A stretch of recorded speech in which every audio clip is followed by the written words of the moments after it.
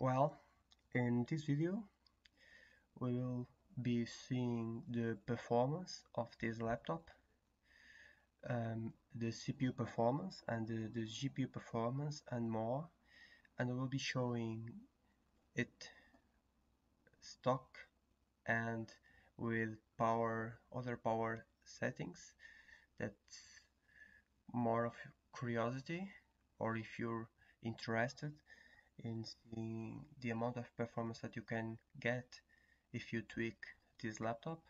Here it's the CPU-Z uh, ba basic benchmark. It's getting this score.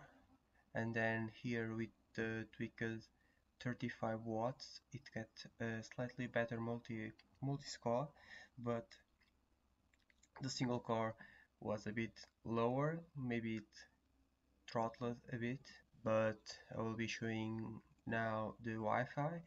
This is I'm running a 100 megabit fiber line. This Wi-Fi PCI Express slots it's a Realtek that goes up to 600 megabytes. Supposedly I can test that. Here we have the speeds of the PC expressed two times SSD it has really really good reads and decent writes.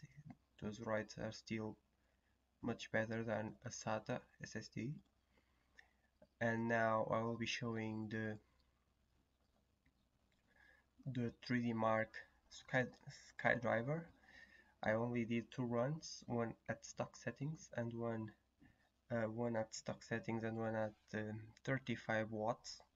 And as you can see there are some really nice improvements. The total uh, score goes up almost 30% and you can get as as much as 40% more performance at least on this benchmark. But it will get even better I did multiple runs here. And first one I only got this car around 7000 and then I used the 35 watts and I got a bit a bit more a bit more CPU too.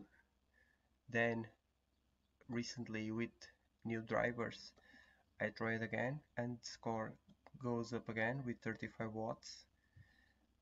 And then shortly after that I installed the new version of Windows the 1903 and with the exact same settings I got much better well better performance at least GPU performance. The CPU got slower a bit slower.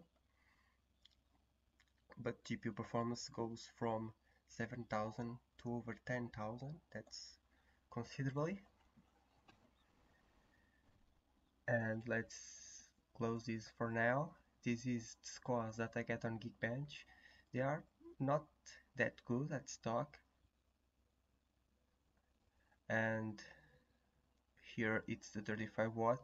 Not as big of improvement compared to the GPU performance but still a bit of the improvements here.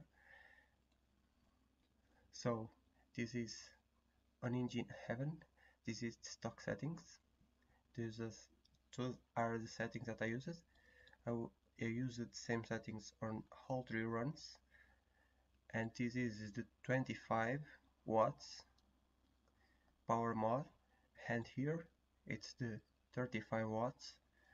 I did this run a while ago if I test it again with newer with the newer drivers it will probably get slightly better but it's still a really great improvement.